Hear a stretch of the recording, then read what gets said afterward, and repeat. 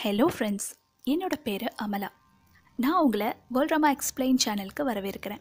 இன்றைக்கி நம்ம பார்க்க போகிறது நெட் ஐடை அப்படின்ற ஒரு த்ரில்லிங்கான தாய்லாண்ட் ஹாரர் மூவியை பற்றி தான் பார்க்க போகிறோம் அண்ட் இதோட ஐஎம்டிபி ரேட்டிங்ஸ் பார்த்தீங்கன்னா த்ரீ பாயிண்ட் டூ இருக்குது பட் நூற்றி அறுபத்தி நாலு பேர் தான் இதை ரேட் பண்ணியிருக்காங்க அப்படின்றதுனால ஒருவேளை ரேட்டிங்ஸ் கம்மியாக இருக்கலாம்.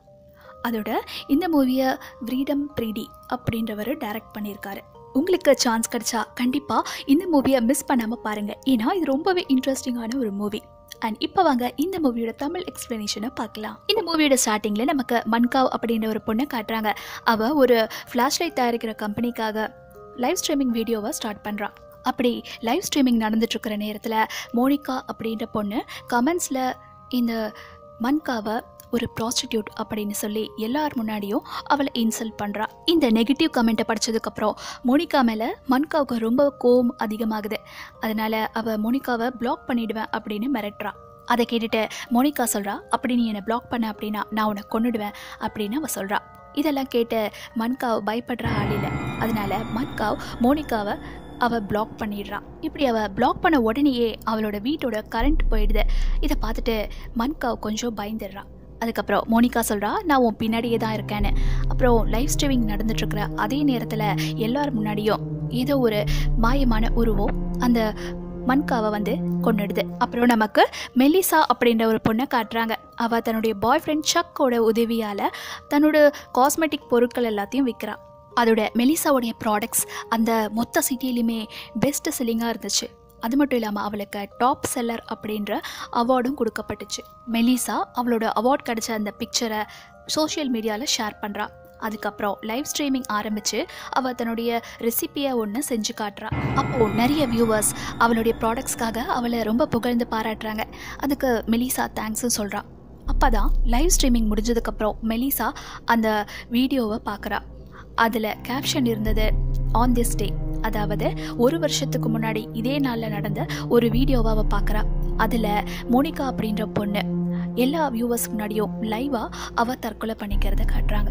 மெலிசா அதை பார்த்ததும் ரொம்பவே டிஸ்டர்ப் ஆகிடுறான் அன்னைக்கு நைட்டு மெலிசா அந்த வீடியோ பார்த்த அந்த விஷயத்த தன்னோட பாய் ஃப்ரெண்டான சக்குக்கு சொல்கிறான் அதோட சீக்கிரமாக அவனை வீட்டுக்கு வர சொல்லி சொல்கிறான் அப்போ தான் அவளோட வீட்டில் கரண்ட் கட் ஆகுது. அதோட யாரோ ரொம்ப பலமாக அந்த கதவை தட்டுறாங்க. இதை பார்த்துட்டு மெலிசா ரொம்ப பயந்துடுறா. அந்த நேரத்தில் தான் ஒரு ஆவி உருமமான கோஸ்ட்டை காட்டுறாங்க. அது மெலிசாவை பார்த்துட்ருக்கு ஆனால் கரண்ட் இல்லாதனால மெலிசாவால் அதை பார்க்க முடியல. அதுக்கப்புறம் மெலிசா பயந்துக்கிட்டே வீட்டுக்குள்ளே போகிறா அந்த சக்குக்கும் கால் பண்ணுறா அப்போ தான் அவள் கண்ணாடி வழியாக பார்க்குறா அவள் பின்னாடி ஒரு பொண்ணோட உருவம். அது கைத்தில் தொங்கிட்டு இருக்கிற மாதிரி. அவள் அதை பார்த்த உடனே பயந்து வீட்டை விட்டு வெளியில் ஓடி வந்துடுறா. அதுக்கப்புறம் சக் அந்த இடத்துக்கு வந்துடுறான். இப்போது சுச்சுவேஷன் எல்லாமே ரொம்ப நார்மல் ஆயிடுது. அண்ட் அடுத்த நாள் மெலிசா அந்த வீடியோவை காட்டுறா. அப்போது சக் அந்த வீடியோ பார்த்துட்டு மெலிசா கிட்டே கேட்குறா இந்த மோனிகா அப்படின்ற பொண்ணு யாருன்னு? அதுக்கு மெலிசா சொல்கிறா இந்த மோனிகாவை நான் ஒரு வருஷத்துக்கு முன்னாடி ப்ராடக்ட் ரிவ்யூக்காக ஹையர் பண்ணியிருந்தேன்னு சொல்கிறான் ப்ராடக்ட்ஸோட லைவ் ஸ்ட்ரீமிங் பண்ண வேண்டி அந்த மோனிகாவை வீடியோ ப்ரொமோஷனுக்காக நான் ஹையர் பண்ணியிருந்தேன்னு சொல்கிறா அதுக்கப்புறம் சக் சொல்கிறான் இந்த மோனிகாவுடைய அக்கௌண்ட்டை யாரோ ஹேக் பண்ணியிருக்கணும். கூடிய சீக்கிரமே நான் அது யாருன்னு கண்டுபிடிக்கிறேன்னு சக் சொல்கிறான் இப்படி சொல்லிட்டு சக் அந்த இடத்த விட்டு போயிடுறான். அதுக்கப்புறம் மெலிசா தன்னோட கூட வேலை செய்கிற சோம் அப்படின்ற பொண்ணுக்கு கால் பண்ணுறான் இப்போ நமக்கு சோம் அப்படின்ற பொண்ணை காட்டுறாங்க. அப்போ அவள் ஏதோ ஒரு விஷயத்தினால ரொம்பவே கவலையாக டென்ஷனாக இருக்கா. அதுக்கப்புறம் அவள் குளிக்க போகிறா அவள் குளிச்சுட்டு இருக்கும்போது டேப்பை க்ளோஸ் பண்ண பார்க்குறா அப்போ தான் நம்ம காட்டுறாங்க. அந்த இடத்துல ஏதோ ஒரு கருப்பு கலரில் ஒரு பேய் உருவம் நின்றுட்டு இருந்துச்சு. அதோடைய காலை தான் அந்த சோம் தொட்டிருக்கா. அப்புறம் கண்ணை திறந்து பார்த்த உடனே அந்த இடத்துல யாருமே இல்லை. அப்புறம் சோம் நினச்சிக்கிட்டா இது அவளுடைய கற்பனைன்னு. அதுக்கப்புறம் சோம் அவளோட மொபைலை செக் பண்ணுறா அதில் ஒரு வீடியோ நோட்டிஃபிகேஷன் வந்துருந்துச்சு. அதை பார்க்கும்போது அதில் எழுதிருந்தது மோனிகா ஹேஸ்ட் ஆக்டிவ் அப்படின்னு. அந்த வீடியோவை பார்த்ததும் அவள் ரொம்பவே டென்ஷன் ஆகிடுறா ஏன்னா மோனிகா அப்படின்ற பொண்ணு ஒரு வருஷத்துக்கு முன்னாடியே இறந்து போயிட்டா அப்படின்றது அவளுக்கு நல்லாவே தெரியும். அப்புறம் அதே மோனிகா கிட்டேருந்து அவளுக்கு ஒரு வாய்ஸ் மெசேஜும் வருது. அதை பார்க்கும்போது அதில் இருந்தது என்னென்னா மோனிகா அப்படின்னு பொண்ணு.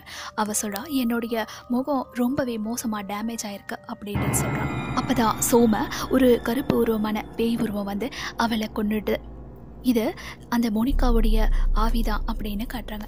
இதுக்கு நடுவில் தான் மெலிசா சோமுக்கு கால் பண்ணியிருக்கா. அப்போ தான் சோம் அந்த ஃபோனை எடுக்க மாட்றா. அதுக்கப்புறம் மெலிசா மோனிகாவோட சோஷியல் மீடியா அக்கௌண்ட்டை செக் பண்ணுறா அதில் மோனிகாவோட லைவ் ஸ்ட்ரீமிங் வீடியோவையும் அவள் பார்க்குறா அப்போது மோனிகா தன்னோட ரூம்மேட்டான ஐ கூட சேர்ந்து ஒரு லைவ் ஸ்ட்ரீமிங் வீடியோவை பண்ணிக்கிட்டு இருக்கா. அப்போது மோனிகாவை காட்டும்போது அவளோட முகம் பேண்டேஜால் சுத்தப்பட்டு அவளுக்கு அடிபட்டு இந்த மாதிரி காட்டினாங்க.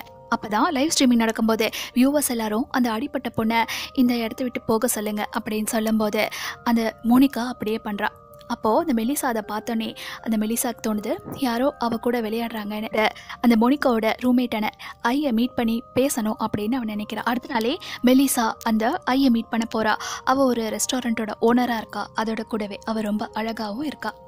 அதுக்கப்புறம் மெலிசா கிட்ட ஐ சொல்கிறா அவளுக்கும் அந்த ஒரு வீடியோ நோட்டிஃபிகேஷன் டேக் பண்ணப்பட்ட அந்த வீடியோ வந்திருக்குன்னு. அதை பார்த்துட்டு அவளும் ரொம்ப டென்ஷனாக இருக்கிறதா அவகிட்ட சொல்கிறான் அதுக்கப்புறம் மெலிசா அந்த ஐ கிட்ட அவங்களோட ஃப்ளாட்டோட மோனிகா தங்கியிருந்த அந்த ஃப்ளாட்டோட ரூம் கீஸை கேட்குறா ஏன்னா அங்கே போய் செக் பண்ணால் அப்போ தான் யாராவது அந்த மோனிகாவோட அக்கௌண்ட்டை வச்சு அவ கூட விளையாடுறாங்களா அப்படின்றத கண்டுபிடிக்க முடியும்னு. ஐ மெலிசாக்க அந்த ரூம் கீஸை கொடுக்கறதுக்கு முன்னாடி அவங்க கிட்ட இந்த கொஞ்சம் காசை வாங்கிக்கிட்டு அதுக்கப்புறம் அந்த மெலிசா கிட்ட ரூம் கீஸை கொடுத்துடுறான் அதுக்கப்புறம் மெலிசா அந்த இடத்த விட்டு போனதுக்கப்புறம் ஐ ஒரு ஃப்ரிட்ஜில் இருந்து ஒரு ட்ரிங்கை எடுக்கிறா.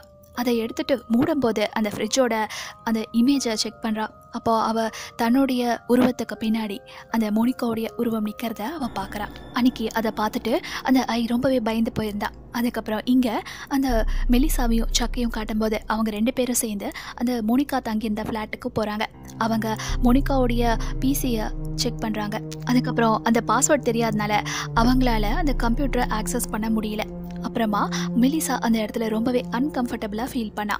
அப்புறம் அவள் தன்னோட ஃபோனை தேட ஆரம்பிக்கிறா. அப்புறம் ஃபோன் கிடச்ச உடனே கூட அந்த ஃபோனை அவங்களால ஆன் பண்ண முடியல. சக் தோணுது அவள் பின்னாடி யாரும் நிற்கிற மாதிரி. அப்போ அவள் திரும்பி பார்க்கும்போது அந்த இடத்துல யாருமே இல்லை. அப்புறம் சடனாக திரும்பும்போது அவள் எதிரிலேயே அவள் முன்னாடியே வந்து மோனிகா நிற்கிறா அவளை பார்த்ததும் மெலிசா ரொம்ப பயந்து போயிடுறா. அப்புறம் கட்டுறாங்க. அவன் முன்னாடி வந்தது அந்த சக் தான். அப்புறம் ரெண்டு பேரும் அந்த இடத்த விட்டு போயிடுறாங்க. வீட்டுக்கு வந்ததோ அந்த மெலிசா கிட்ட சக் சொல்றான் நீ ஓவர் திங்கிங் பண்றத நிறுத்துன்னு. அப்படி சொல்லிட்டு சக் அந்த இடத்த விட்டு போயிடுறான். அதுக்கப்புறம் மெலிசா ஃபோனை செக் பண்ணும்போது அவளுக்கு ஐயோடைய வீடியோ கிடைக்குது. அந்த வீடியோல இருந்தது என்னன்னா அன்னைக்கு ஐ அந்த மோனிகாவுடைய உருவத்தை பார்த்ததும் அவ ரெஸ்டாரண்ட்டை விட்டு பயந்து வெளியே ஓடும்போது ஒரு கார்ல அடிபட்டு அவளுக்கு ஆக்சிடென்ட் ஆகி அதே இடத்துல இறந்துடுறான் இதை கேட்டதுமே மெலிசாக்கு பயம் இன்னும் அதிகமாயிடுது. அன்னைக்கு மெலிசா தன்னுடைய முகத்துல பியூட்டி க்ரீமை தடவிக்கிட்டு இருக்கும்போது கண்ணாடியில பாக்குறா. அப்போ அந்த இடத்துல அந்த கண்ணாடியில அவளோட உருவத்துக்கு பதிலா மோனிகாவுடைய உருவம் தெரியுது.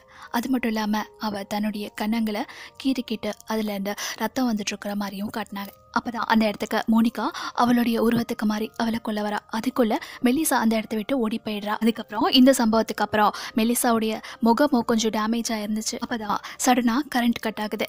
அப்போது மெலிசாவுடைய முன்னாடி வந்து நின்னது அந்த மோனிகாவுடைய நிஜ உருவம். மோனிகா இப்போது அவளுடைய பயங்கரமான உருவத்தோட வந்து அந்த மெலிசா முன்னாடி நிற்கிறா அதை பார்த்து மெலிசா இன்னும் பயந்துடுறா. அப்படியே ஸ்டெப்ஸ் வழியாக அவள் மாடிக்கு போயிடுறா.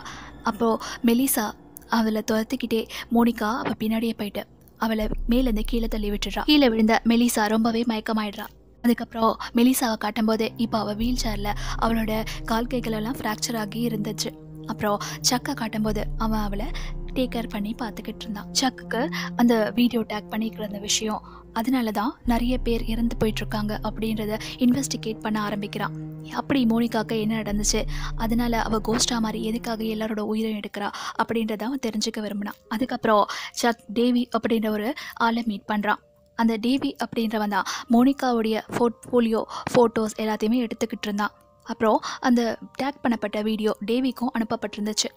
டேக் பண்ணப்பட்ட எல்லாருமே இறந்துட்டாங்க அப்படின்ற விஷயத்த சொன்னதும் டேவி கொஞ்சம் பயந்துடுறான். அப்புறம் அவன் அந்த சக்கிட்ட அந்த மோனிகாவுடைய எக்ஸ் பாய் ஃப்ரெண்டை மீட் பண்ணேன். அவன்கிட்ட இருந்து உனக்கு நிறைய தகவல் கிடைக்கும் நம்புறேன் அப்படின்னு சொல்கிறான் அதுக்கப்புறம் டேவி அவனோட வேலைக்கு போயிடுறான். வேலைக்கு போயிட்டுருக்கிற வழியில் அவன் ரெண்டு பொண்ணுங்களை அவன் செல்ஃபிஸ் எடுத்துகிட்டு இருக்கும்போது அவங்க கிட்ட பேசிட்டு போகிறான் அந்த ரெண்டு பெண்களோட போர்ட்ஃபோலியோஸ் முடிஞ்சதுக்கப்புறம் நமக்கு காட்டுறாங்க. இந்த ரெண்டு பொண்ணுங்களை தான் அந்த மன்காவோடைய முதல் வீடியோவில் அந்த மோனிகா டேக் பண்ணியிருந்தா. அதுக்கப்புறம் அந்த இடத்துல லைட் போயிடுது. அப்புறம் மோனிகா அந்த ரெண்டு பொண்ணுங்களை ஒரு பொண்ணை பெண்ட் பண்ணி அவளை கொண்டுடுறான் அப்புறம் இன்னொரு பொண்ணையும் அவ கொண்டுடுறா அந்த மோனிகா அந்த ரெண்டு பொண்ணுங்களையும் அவ ஏன் கொன்னா அப்படின்னா அந்த தேவியோட சேர்த்து இந்த ரெண்டு பொண்ணுங்க அவளுடைய வேலைக்கு குறுக்க நின்னாங்க. அதோட அவளோட வேலையும் அவங்களால போயிடுச்சு. அதுக்கப்புறம் கொஞ்ச நேரம் கழிச்சு தேவியையும் அவனோட முகத்தை கிழிச்சு அந்த மோனிகா அவனையும் கொன்னுடுறான் அடுத்த நாள் செக் அந்த மோனிகாவோட எக்ஸ் பாய் ஃப்ரெண்டான சுன்னை மீட் பண்ண போகிறான் அப்போ சுன் அந்த செக் கிட்ட அவ்வளோ நல்லா பேச மாட்றான். ஏன்னா அவனுக்கு தெரியும் மெலிசா தான் அந்த மோனிகாவுடைய மரணத்துக்கு காரணம் அப்படின்னால சக் அந்த இடத்த விட்டு சுன் போக சொல்லிடுறான். அப்புறமா அதே நைட்டு அந்த மெலிசா கிட்ட சக் கேட்குறான் மோனிகா கூட என்ன நடந்துச்சு அப்படின்னு. அப்பதான் அவங்களோட வீட்டு காலிங் பெல் அடிக்குது. அதோட வெளியில் வந்திருந்தது சுன்னுடைய ஃப்ரெண்டாக இருந்தான். அப்போ தான் சுன்னுடைய இடத்துல அவன் கொஞ்சம் போதையில் இருந்ததுனால அவன் அவனோட கேர்ள் ஃப்ரெண்ட் கூட கொஞ்சம் இன்டிமேட்டாக க்ளோஸாக இருக்க முயற்சி பண்ணான் அதோட அவன் வீடியோவையும் ஆன் பண்ணி எல்லாத்தையும் ரெக்கார்ட் பண்ண ரெடியாக இருந்தான் அப்போ சடனாக அந்த சுண்ணுக்கு அவனோட கேர்ள் ஃப்ரெண்டுக்கு பதிலாக மோனிகா கண்ணுக்கு தெரியறா.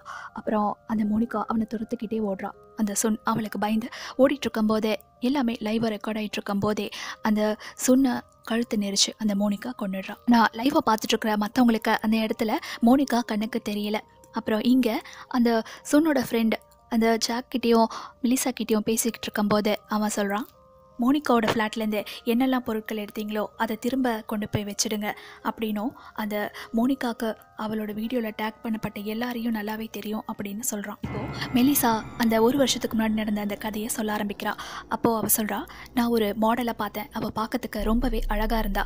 அதோட அவளை நான் காண்டாக்ட் பண்ணி எனக்காக வேலை செய்ய சொல்லி அவளை ஒரு லைவ் வீடியோ ரெக்கார்டிங்கை வீடியோ ப்ரொமோஷனை பண்ண சொன்னேன். அப்போ தான் மோனிகாவை காட்டுறாங்க. அவள் ரொம்பவே அழகாக இருந்தா. அதோட லைவ் ஸ்ட்ரீமிங் நடந்துட்டு இருக்கும்போது அவள் அந்த வீடியோ ப்ரமோஷனுக்காக அந்த ப்ராடக்டை தன்னுடைய முகத்தில் ட்ரை பண்ணா.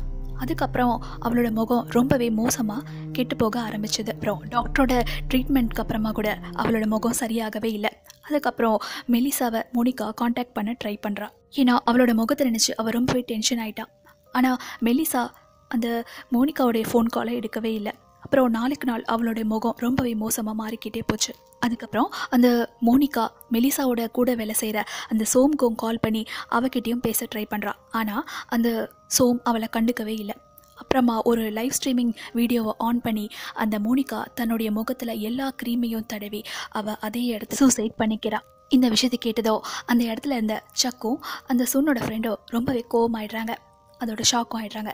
அப்புறம் அந்த சுன்னோட ஃப்ரெண்ட் அந்த மெலிசா கிட்டே கேட்குறான் நீங்கள் அந்த க்ரீம் ப்ராடக்ட்டை விற்கிறதுக்கு முன்னாடி அதை டெஸ்ட் பண்ண மாட்டீங்களான்னு.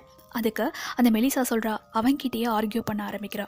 அவள் சொல்கிறா ஒரு க்ரீம் சரியில்லாமல் போச்சுன்னா அதுக்கு என்ன பண்ணுறது அப்படின்னு. அது கேட்டுட்டு அந்த சுன்னோட ஃப்ரெண்ட் சொல்கிறான் நான் உன்னுடைய இடத்துல இருந்திருந்தா கண்டிப்பாக இப்படி நடக்க விட்டுருக்க மாட்டேன். மோனிகாவுக்கு ஏதாவது ஒரு விதத்தில் உதவி பண்ணியிருப்பேன்னு சொல்கிறான் அப்போ தான் கரெக்டாக அந்த இடத்துல கரண்ட் கட் ஆகிடுது அதோட அந்த இடத்துக்கு மோனிகா வந்துடுறா. அவள் தன்னோட காலால் நசி மெலிசாவை தாக்குறா. சக்குக்கு நடக்கிற எதுவுமே ஒன்றுமே புரியல. அதுக்கப்புறம் அடுத்த நாள் சக்கும் அந்த சுன்னோட ஃப்ரெண்டும் அந்த மெலிசாவை அந்த ஃப்ளாட்டுக்கு திரும்ப அந்த பொருளை வைக்கிறதுக்கு கூப்பிடுறாங்க. ஆனால் மெலிசா அவங்க கூட போக மறுக்கிறான். அதனால சக் அந்த ஃப்ளாட்டுக்கு தனியாகவே போகிறான் அப்போ அவன் பார்க்குறான் அந்த மோனிகாவுடைய பிசி தானாகவே ஆன் ஆகிடுது அதுக்கப்புறம் சக்குக்கு தெரிய வருது அந்த சுன் அப்படின்றவன் மோனிகாவை ரேப் பண்ணி அந்த வீடியோவை ரெக்கார்ட் பண்ணி அவங்க ஃப்ரெண்ட்ஸுக்குள்ளே ஷேர் பண்ணியிருக்கான். அதோட அந்த பிளானில் மெலிசாவும் இன்வால்வ் ஆகியிருந்தான் மெலிசா இப்படி பண்ணதுக்கு காரணம் அந்த மோனிகா அவளோட ப்ராடக்ட்டை வச்சு அவளை லைவ் ஸ்ட்ரீமிங்கில் எல்லார் முன்னாடியும் இன்சல்ட் பண்ணியிருந்தா. அதுக்கப்புறமா தான் அதுக்கப்புறமா தான் மோனிகா தன் கூட இப்படியெல்லாம் நடந்த விஷயத்த எல்லாத்தையும் தாங்க முடியாமல் அவள் லைவ் ஸ்ட்ரீமிங்லேயே அவளோட முகத்துலலாம் ஃபேஸ் க்ரீம் எல்லாம் பூசி அவள் அதே இடத்துல சூசைட் பண்ணிக்கிட்டா. இப்போ வீல் சேரில் இருக்கிற அந்த மெலிசாவை காட்டும்போது ரொம்ப நேரமாக அவள் சக்குக்கும் அந்த சுன்னுடைய ஃப்ரெண்டுக்கும் வெயிட் பண்ணிக்கிட்டு கீழேயே இருந்தா. அப்புறம் அவளே மேலே போகிறதுக்காக லிஃப்ட்டில் ஏறி போகிறாள் அப்போது லிஃப்ட் ஒரு இடத்துல நின்றுடுது அப்புறம் அந்த இடத்துக்கு மோனிகாவோட ஆவி வந்துடுது. மோனிகா அந்த மெலிசாவை அவளோட வீல் சேர்லேயே கூட்டிகிட்டு போய் அந்த டெரஸ் மேலே உட்கார வச்சிடுறா. அந்த எஜ்ஜில் அவள் உட்காந்துட்டு இருக்கும்போது அவள் கீழே விழ போகிறதா இருக்கா. அப்போ தான் அந்த இடத்துக்கு செக் வந்து மெலிசாவை காப்பாற்றிடுறான் அப்புறம் செக் மெலிசா கிட்ட மோனிகா கிட்ட நீ அப்படி நடந்திருக்கக்கூடாது அப்படின்னு சொல்லிட்டு அவளை மன்னிச்சிடுறான். இந்த மன்னிச்சதுனால மோனிகாவுக்கு அந்த சக் மேலே ரொம்பவே கோவமாக வருது. அதனால அந்த சக்கை மோனிகா அந்த பில்டிங்லேருந்து கீழே தள்ளி அவனை கொண்டுடுறா அதுக்கப்புறம் ஆறு மாதம் கழித்து காட்டுறாங்க. மெலிசாவை காட்டும்போது அவள் தன் யார் அப்படின்றதே மறந்து அவளுடைய நினைவுகளாக எழுந்திருந்தா. அப்பவும் அந்த மோனிகா அவள் கூடியே இருக்கிற மாதிரி காட்டுறாங்க. மோனிகா எப்போவுமே மெலிசா கூடியே இருக்கா. ஏன்னா அப்போ தான் அவளை துடி துடிச்சு சித்திரவதை பண்ணி அவளை சாகடிக்க முடியுன்றனால. இதோட இந்த நெட் ஐடை அப்படின்ற மூவி எண்ட் ஆகுது ஃப்ரெண்ட்ஸ் இந்த வீடியோ உங்களுக்கு பிடிச்சது அப்படின்னு நினச்சிங்கன்னா மறக்காமல் லைக் பண்ணுங்கள் அதோட கமெண்ட்டில் எனக்கு எஸ்ன்னு சொல்லுங்கள் உங்களோட ஃப்ரெண்ட்ஸ்க்கும் ஷேர் பண்ணுங்கள் அதோட நம்ம சேனலை சப்ஸ்கிரைப் பண்ணிவிட்டு பெல் ஐக்கானில் ஆல் அப்படின்றத கொடுத்தீங்கன்னா இதுக்கப்புறம் போடக்கூடிய எல்லா வீடியோஸோட நோட்டிஃபிகேஷன்ஸும் உங்கள் மொபைலையே வந்தடையும் நான் உங்களை அடுத்து வேற ஒரு சூப்பரான மூவியில் சந்திக்கிறேன். அது வரைக்கும் stadium to world explain and நான் உங்கள் Amala. Thank you friends see soon